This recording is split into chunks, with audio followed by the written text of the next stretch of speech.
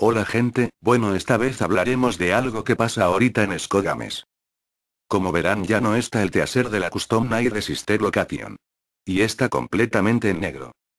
Pero bueno este es algo típico en esta página ya que cada año siempre pasa cuando se acerca un juego o quiere lanzar un nuevo teaser. Siempre no se muestra nada y después vuelve la misma imagen anterior. ¿Creen que pueda pasar eso? ¿O tal vez se acerca algo nuevo de Scott? Muchos se preguntarán cuál será el nuevo proyecto de Scott. Bueno, no soy adivino y Scott él tiene sus propios planes. Que tarde o temprano nos dará una sorpresa increíble.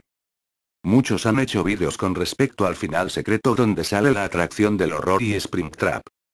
Bueno, muchos youtubers que hacen vídeos informativos como yo.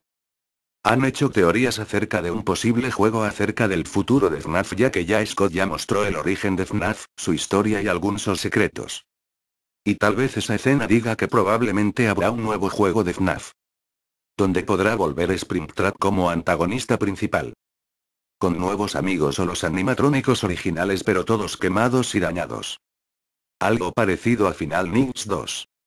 Es mi teoría, ustedes tendrá otra. También a lo mejor haga un nuevo juego que no se FNAF. Pero siempre que Scott pone la página sin teaser, uno se pone a pensar qué pasará. ¿Viene un nuevo juego? Pero eso es parte de Scott aunque se sabe que es muy troll. Si le subimos el brillo no se encuentra nada, no hay teaser. Es para que sepan. ¿Ustedes qué opinan de esto? ¿Creen que salga un nuevo juego con Springtrap o otro juego que no sea FNAF? Dejarme tu opinión abajo. Dale me gusta si te gustó. Compártelo y suscríbete para más. Hasta la próxima gente.